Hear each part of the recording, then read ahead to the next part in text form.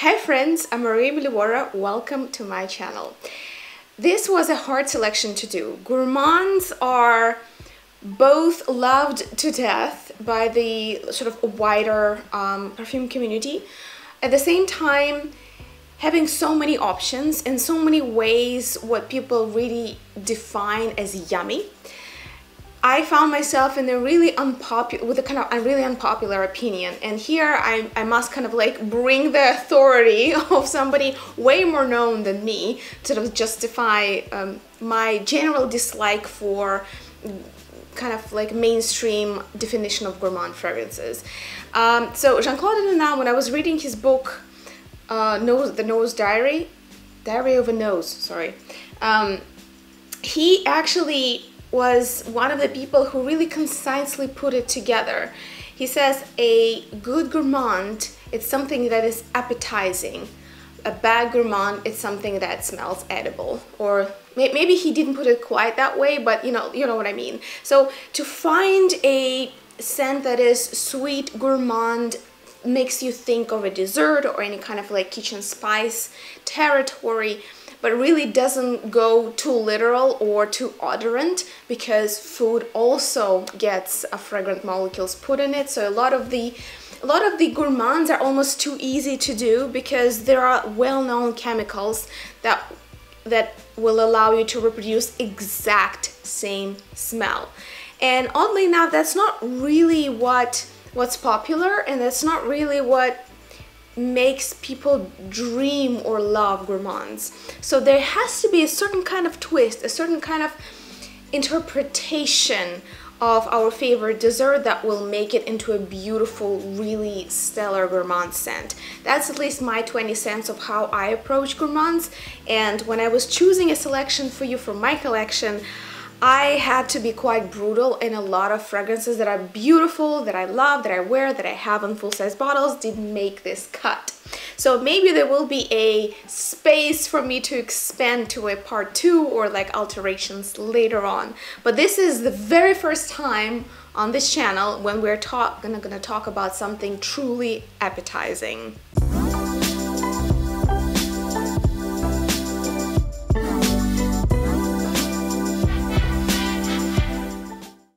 Alright, with disclaimers out of the way, a few honorary mentions because I recently have talked about these fragrances to death. I have to mention them because they truly made, you know, they made the cut, but I just don't want to overwhelm you with the same names.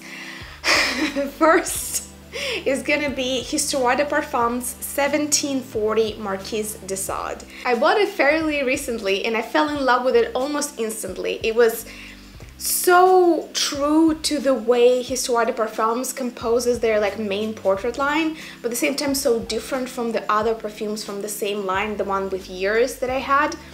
It kind of just stole my heart.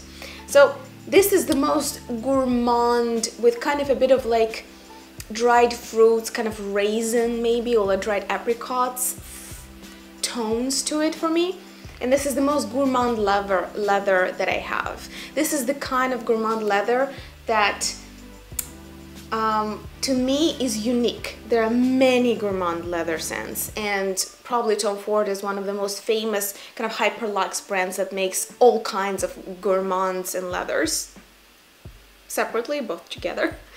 But I kind of, I don't, I don't know of anything quite like this. Most of gourmand leather, it kind of is a whole blur into a kind of voluminous, fat, rich, slightly aromatic tobacco, hookah, leather, suede, sweet, sweet, sweet tonka beans, vanilla, amber, and all other things. I find that most, even the most gorgeous gourmand leathery scents are a bit um, they are not Arabic enough to be in the kind of gold traditions of Arabic blending and yet they are too heavy for let's say a more of a kind of British nose if you wish you know like uh, for a tradition of more watercolory very clean type of blends. So to me I'm kind of I'm not really happy with this kind of in the middle position. And Marquise de Sade is very different from that. It's not overly boiled type of sweets. It's very condensed, it's well spiced, but it kind of stays in its uh, condensed and very profound realm of different notes, kind of very, they're very tightly woven together. And this is why I like it so much as a gourmand leather. Another one, again, I probably mentioned this every fifth video because it's first, it's my favorite spicy nude. Second, it is a one of my favorites from Libre d'Orange. And third, it is an amazing kind of all year round scent if you like Thai food. This is Libre d'Orange uh, Fils de Dieu. Fils de Dieu is dedicated to the culture and traditions of Philippines. So any of you who actually do have personal connection, I'm kind of curious what you think of it. Do you think these are artistically adapted to be a perfume yet still give you the right kind of reference points of the culture of Philippines. If any of you know anyone or yourself have a connection, please let me know what you think. So I'm not super familiar, but I love Thai food and you know and generally I love coconut. So this is probably the most prominent association that I get is the sticky coconut rice. There are way more ingredients in here and this is what I love about it. It's like such a mm, fine blend. The nothing here no note is sticking out. It's all kind of very well it's like a shake of all aromatic and slightly coconutty smooth things and spices together. And it it sits close to the skin, but it's fairly long lasting, at least on my skin. So I really, I really love it for the most edible coconutty scent in my collection. I do have other coconut scents, but I find them a little bit more predictable and kind of bland, you know, like SPF cream type of coconut, rather than this that really makes me think of some delicious aromatic meal, something really appetizing without being too literal. Uh, talking about another dessert, well actually sticky rice is not necessarily dessert, but for some. Um, if you really like lemon curd and you um, like kind of lemon plus vanilla type of um, cheesecake i think there are che lemon cheesecakes there are like different options but i guess lemon curd is probably the closest comparison that i can find. Shalimar souffle. I just killed a bottle. Finally finished it. Very happy about it. Um, here we had get more of a kind of subtle reference rather than a literal interpretation but I had to mention it because once I got that association I can't get it out of my mind and I primarily wear it as a dessert with my coffee. Another uh, even more realistic interpretation of lemon curd it's called lemon curd by Brocard. This is a very affordable kind of experimental olfactive studio based I think it's Russia and Germany so for those of you in Europe if you can put your hands on some brocard, I highly recommend you do. Don't be put, put away by the cheap price because it's actually one of those very fun and interesting and experimental brands to try. So this is basically, sometimes I see it like Brocard is a Etat Libre d'Orange, but very affordable. So they do take a lot of liberties, they do do a lot of experimentation, but they kind of keep it Jo Malone style. It's all very easy to understand, it's kind of fun, but it's light and it wears beautifully as just a body spray if you wish to do so. So one of their collections is called Café Gourmand. So all of the uh, bottles look more or less like this and the lemon curd, even though it, it lasts probably 10 minutes, I adore it. Every time I spray it around, I get so addicted.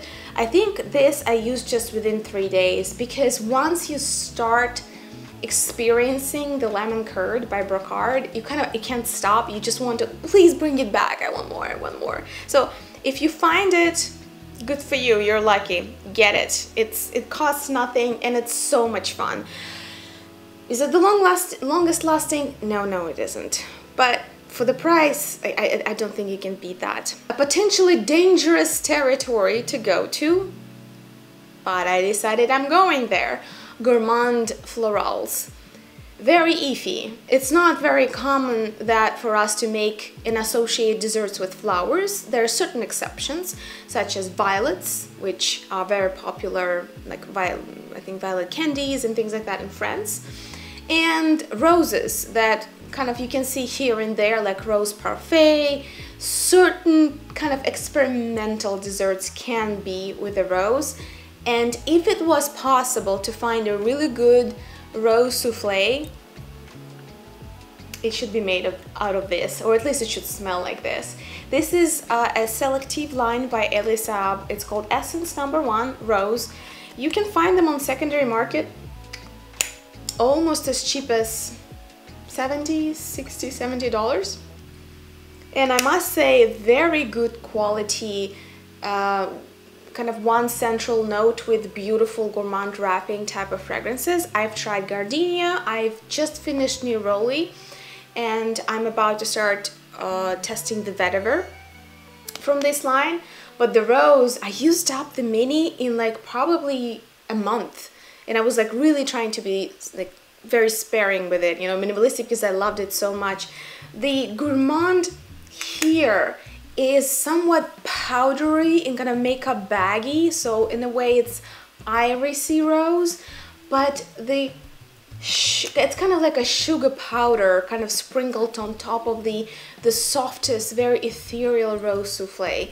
This is like the best way I can describe it. I absolutely love it. I understand this is a bit risque um, to call these and put this into the best gourmands in my collection but when I really had to think about it a lot of more literal gourmands were not special enough to add them into this video but this definitely was. This is the best gourmand rose that I have in my collection. Now toward things that are a little bit more believable I guess um, and a little bit more I, I don't want to say literal because it has bad connotation but you know a little bit more straightforward I guess, with associations. Uh, another Histoires de Parfums, but this time Prolix, or Prolixe. I think it's Prolix. It's their black collection, which is mo mostly contains different kind of smoked woody uh, woods, all kinds of like heavier, smokier versions of how they inter interpret a lot of different forms of oud and Prolix, to me, the, the moment I smelled it, I knew what it was for me. It was grilled pineapple. I had the privilege to try like ripe, like just freshly cut pineapple grilled in Hawaii. It's like their national, one of the national desserts. It's really weird when you, if you've never tried it, it's like pineapple grilled. I don't know. It's delicious if you get a ripe pineapple because the ripe pineapple is much sweeter, juicier, and kind of it's not nearly as tart as what we usually buy in the in the grocery stores. And it just has almost kind of like this meat meaty fleshy um, taste to it in a way. Not meaty in a literal sense but it's just so thick and sweet in juice then when you also grill it it gives the most delicious contrast to the taste of pineapple. So this has it. Prolix actually has pineapple as a note listed but it has all these smoky slightly woody notes to it that it's it's kind of dark and delicious and almost silly because it's pineapple. It's grilled pineapple. You know like when people say dark and delicious they usually think of something like black orchid or, or you know something from Kilian or something from Tom Ford. I find that this is way more niche in what I would call dark and delicious but imagine a grilled pineapple. If that kind of tickles your fancy prolix and you can find the the uh, the travel sizes I think this is what 15 mil or something like that for between 20 and 40 dollars. It depends like where you look. So it's fairly affordable and it's really well packaged. I really like how Histoire de packages their travel sizes because they give you the full uh, experience the full design and concept experience even with the travel size. The next we're gonna talk about delicious ripe prunes kind of like bursting with juice on a sunny afternoon when you're sitting on on like on a fallen tree something of that kind. This is the fragrance that they they they first made for Shiseido and then later kind of got moved to the Serge Lutens line and I think it's the first one they actually came out with. So in many ways Féminité de Bois is the one that made Serge Lutens its name. So if you're ever curious about exploring kind of like core niche houses that kind of shape the century, let me know if you're curious to hear my thoughts on like how to approach exploring niche without kind of doing a random walk, please let me know. It probably, that a video of that kind will take a lot of prep, but if you guys, if there is a need for it, I'll make it. So Serge Lutens Féminité de Bois would be one of the examples. The first representative perfume from Serge Lutens line and Serge Lutens really shaped a lot of the history when it comes to development of olfactory design and the niche market in general. It it's one of the most people-friendly perfumes. As you know, niche can sometimes go um, into very experimental spaces that are not necessarily when it's when the, the fragrance is not necessarily made for you, but you are made to study the fragrance. This is not the case. This is super user-friendly. This is, as I said, sweet, ripe prunes with a few of kind of like Santal woody notes, softening and kind of wrapping them into more elegant composition. So it's both gourmand and sweet, but it doesn't go into the territory of like over boiled sugar candy, kind of like mainstream gourmands. It doesn't really go into this olfactory diabetes area of gourmands. It still stays in the very thoughtful and elegant zone of inspiring and appetizing prunes rather than, you know, something that is like supercharged syrup. So yeah, that's what I'm trying to say. It's not syrupy, but it is but it, it is sweet prune gourmand. Beautiful stuff. Absolutely love it. As you can see, almost half of it is already gone in my bottle. And the next one will be also by Serge Lutens, and this is a newer, a newer fragrance for me, so we're gonna do a bit of a refresher. This is gonna be a dark horse probably of this video because I don't own a full bottle, but I'm dangerously close to like robbing a bank, I don't know, like figuring out something to get it. So I was fortunate enough to find an eBay seller who got me a second decant of this. I uh, one of my subscribers actually gifted me a, I think like a cent, like a small sample, and as soon as I tried it, I was, I was just, wow. Okay, without further ado, this is Serge Lutens Louve, which means um, female wolf, I guess like the wolf that is female. This is the kind of intoxicating gourmand appeal that cyanide poison will have.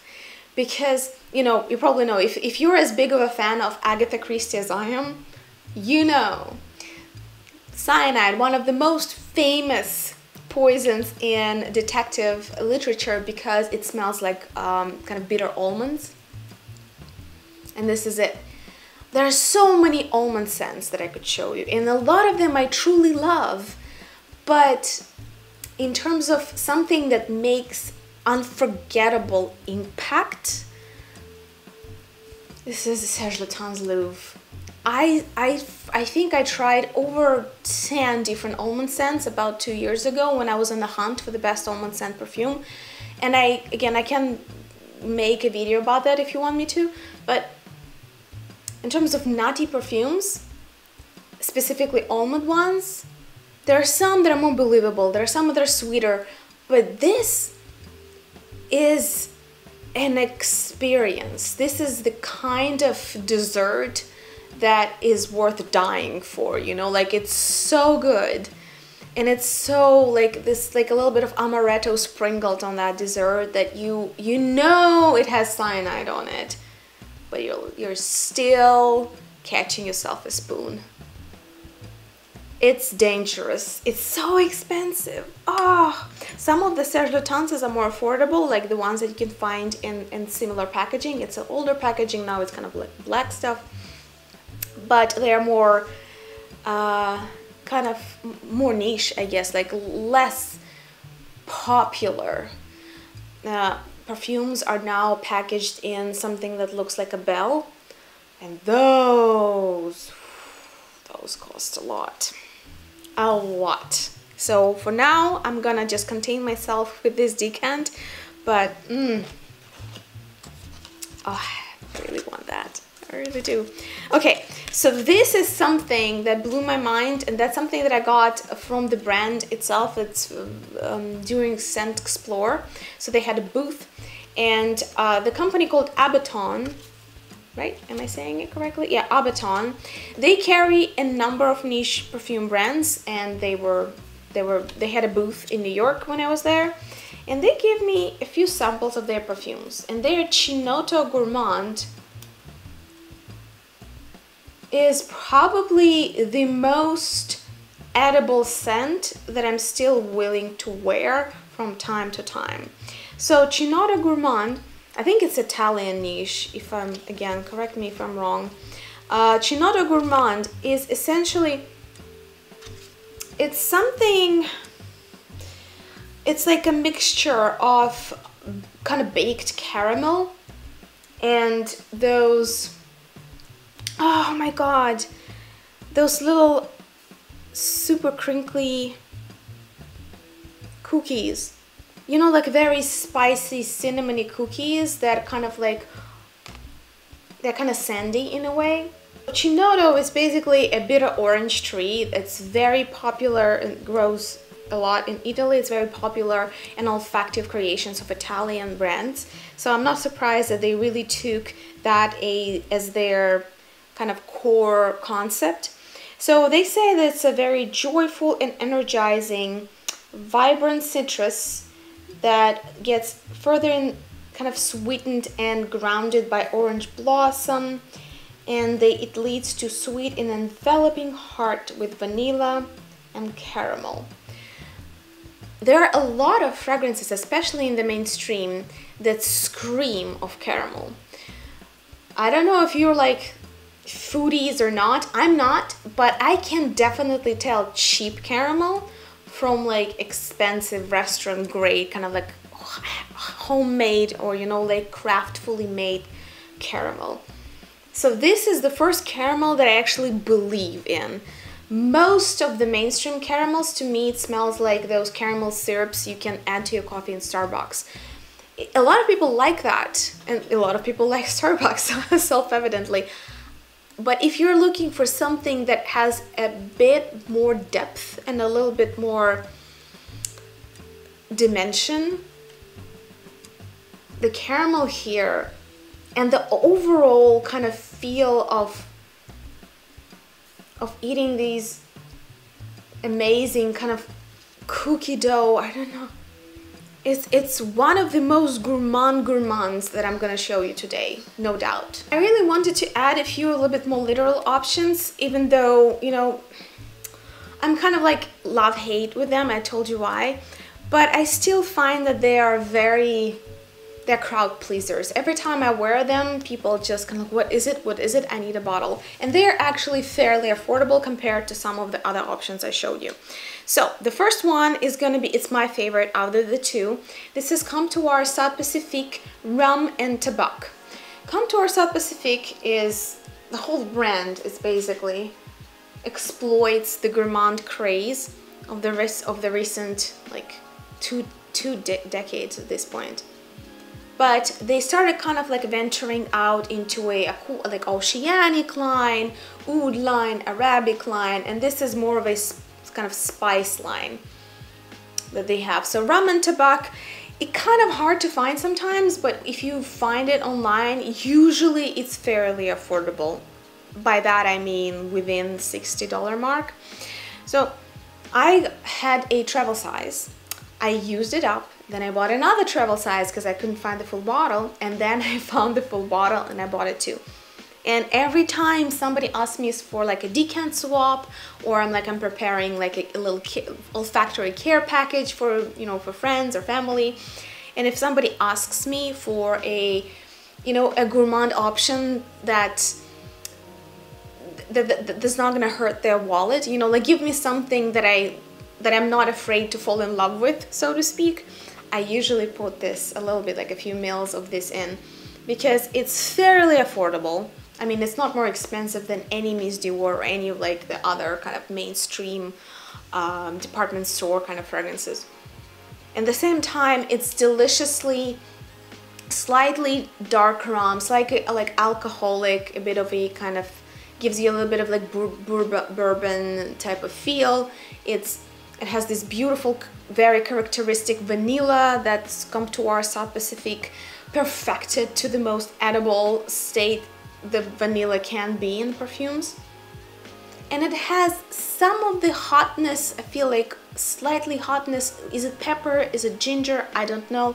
It's like slightly spicy sweetness. And it's overall very wearable. It's wearable even in the morning. It, it's kind of like, it's not heavy enough like some, you know, again, Arabic gourmands could be. It's very it's almost it's that close to be work appropriate. For some work environments, it's totally fine. I find that probably in, in the more strict work environments, this could be a bit frivolous because of the dark rum note, primarily. But I love it. I'm actually now killing my um, my travel size. Like I'm finishing it up, and it's, it's, it's just such a quintessentially beautiful perfume for fall. I love it. Love it and always recommend it to anyone who's looking for an affordable but good, slightly cocktail-like gourmand. And the second one, which is more of a crowd pleaser, um, so the, the Rum and Tabac is my personal favorite out of the two, but if you compare these two from the same brand, this is the one that people kind of go nuts for, at least in the States. This is Comptoir South Pacific Vanille Banane. This is banana pudding. This is just it. Delicious. It's like a warm, amazing, freshly made hot banana pudding it has believable banana. It has all of these like vanilla slash kind of maybe even cinnamony kind of sweetness. It's just this is it. I find it a little bit literal but I can't deny the fact that this is a crowd pleaser. It's probably one of the most popular decants that I've ever put out and oddly enough, it's not as easy to find as some other vanilla scents that they have. You know that Comptoir South Pacific has like everything plus vanilla, but Vanille Banane is actually a bit of a, a rare find. So if you really want to give it a go, I have some of the cheapest decants on the internet because they're from my personal collection. I only have like, you know, probably here I have like three left, maybe four at most. So let me know. Let me know if you want to split a bottle. Okay, now we're going toward a territory that is a little, a little bit more niche. But it's not in any way less delicious or worth searching for. Cherry Loukoum. So, by the way, if you've never seen the smallest, the smallest sample size on the planet, Lucky Scent really beats every record. I don't know, is it like 0.5 milliliters? It's, it's truly the smallest sample sizes I've seen on the internet, but fine. Um, thank you so much to, to my subscriber of mine who actually shared the sample that she got for herself. So Keiko Mecheri Lukum is one of the few uh, interpretations of Rahat Lukum, which is Turkish delight, on the market. There is Serge Lutens Rahat Lukum, which I had and gifted to somebody who loved it way more. That one is a bit more rounded, a bit sweeter, and a bit more prominent almond note in there. Very prohibitively expensive now. Uh, the Serge Lutens Rahat Lukum. The Keiko Mecheri Lukum is frequently compared to that. If you want my 20 cents of this like a decade-long war of people comparing it all over forums and Fragrantica comment sections. Keiko Mecheri Lucum is softer and it's more Rahat Lucum, it's more gourmand and more like edible version. The Serge Lutens Rahat Lucum, as I told you, has more of almond, it's a little bit more punchy and a little bit more abstract therefore. If you're really looking a super believable Rahat Lucum, I think Keiko Mecheri really got it, got it formulated like to the T, to perfection. Actually, a friend of mine, after trying this, like from this teeny tiny vial, went ahead and she immediately bought herself a huge decant. Very hard to find online. A Keiko Mecheri can be found here and there, but Lucum, good luck. Just good luck finding a full-size bottle. It's, it's a crowd pleaser. It's one of the best-selling perfumes from this brand. And uh, Arquiste Anima Dulcis one of the better blind buys from Scentbird that, that I did. To me, these are the perfect kind of dried fruits that you can have with herbal tea. I adore herbal tea with dried fruits. Apricots, raisins, prunes, sour cherries, you name it. Dried bananas, even better. So Anima Dulcis, I only have a, a decant and I kind of like kind of currently using using it up little by little. The Anima Dulcis Bar Arquiste is one of the more, as I said, dried fruits. So it's it's a gourmand that has a bit of this kind of oily, somewhat somewhat sour edge to it. The same kind of sourness that separates a fresh ripe apricot from, you know, dried apricots. That separates fresh ripe prunes from the dried prunes. So it's both sweeter than the real fruit, but it has, as you see, like a little bit of that concentrated, slightly sour oiliness that appears after you process the fruits this way.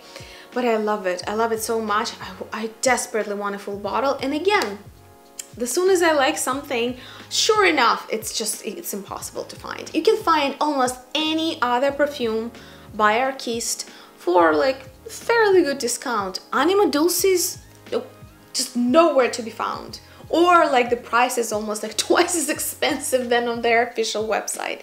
It's crazy. My life is just unnecessarily difficult at this point. I don't get it. I wish it was different and a few even more rare options for those of you who are kind of like connoisseurs of niche. So this, I don't, I, it's like, I don't know if you can see it. It's, it's that much, it's like less than a nail left. And this little sample has been passed from blogger to blogger, from fragrance reviewer to fragrance reviewer as like equivalent of gold, of liquid gold, because such expensive, such rare niche. Okay, let me put some on. Only for review. I almost never wear it because it's just, I don't know, at this point it has some kind of holy grail status in my collection. Um, so this is a Russian niche by Nikolai Yeromin. I think it's a little bit more accessible in Northern Europe than elsewhere, but don't quote me on that. So the one that I have here is called Cafe Italy. The brand that, that he creates perfumes for is called Nimere. Nimere? Nimere? Nimere? I don't know. Um, I'll try to put the, the names in the description down below where I can. So this almost makes me think of Attar because the, the perfume is so concentrated and kind of a little bit oily and the, the, the fragrance also so potent that at first it almost gives me a little bit of a shock but not with alcohol notes but you know with kind of like oily vibrancy of the scent. And then when it starts sitting and warming on the skin there's just like all kinds of magic that starts happening. I don't know if this is the just the, the the sheer consequence of like the solution of how they actually made this particular fragrance or is it just the general quality of attars if you actually really like perfume oils please let me know. How do you compare them in kind of natural spray for like alcohol type of formulation versus oils? I'm super curious about it now after i tried the cafe italy by nimere nimere. But it's such a unique experience. You know, we rarely really talk about this when we discuss perfumes. We try to kind of abstract it to almost like as if you you it's just like a cloud of, of like of molecules in the air. Yet we all wear it somewhere somehow. So this is the perfume that made me think of in how it's made, into what solution it's put, and where and how to wear it on myself. So this, I think, 100% has to be worn on the skin for you to even get a glimpse into what it really is. And Cafe Italy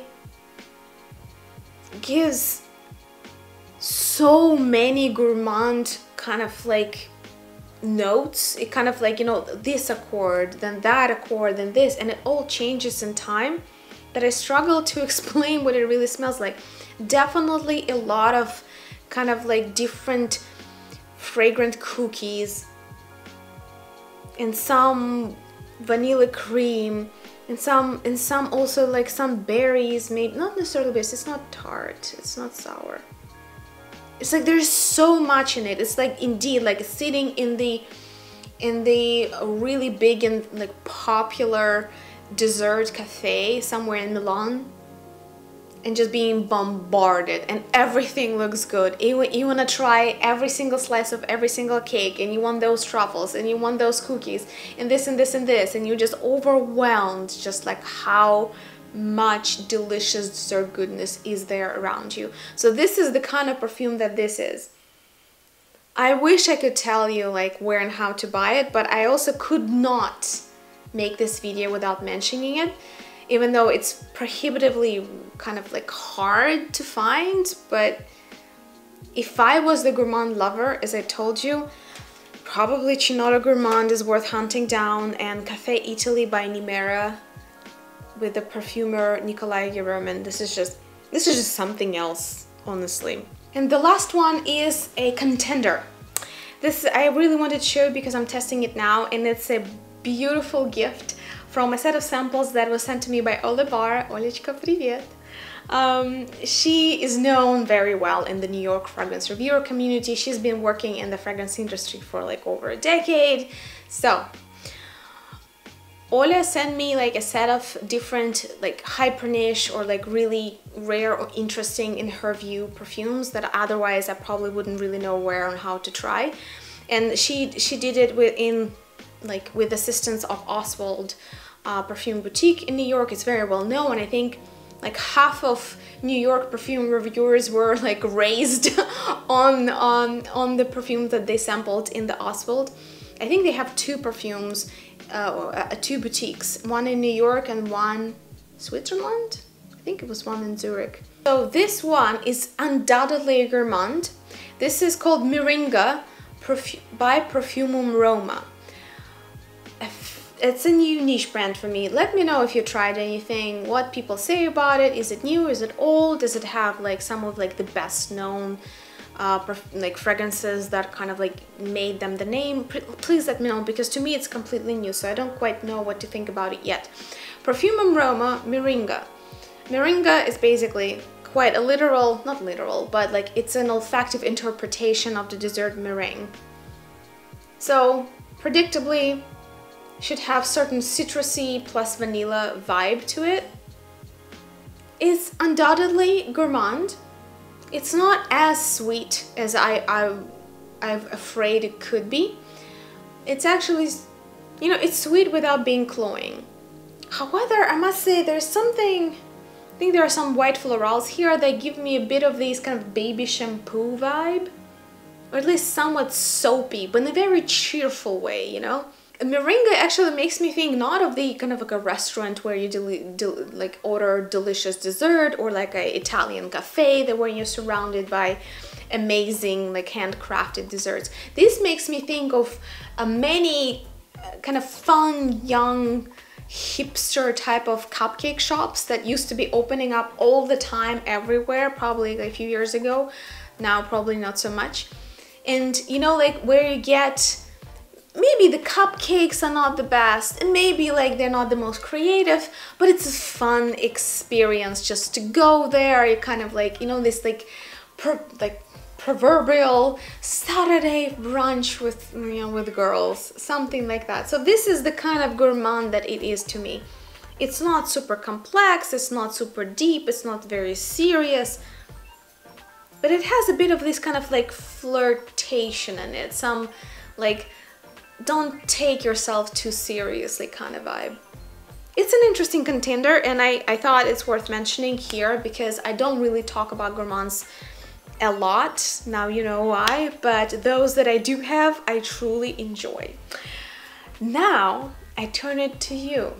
What are the most gourmand gourmands in your mind?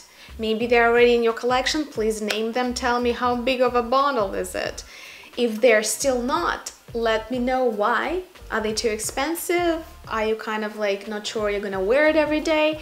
Just tell me everything. I'll be waiting for your feedback. Thank you so much for watching and I'll see you in the next video.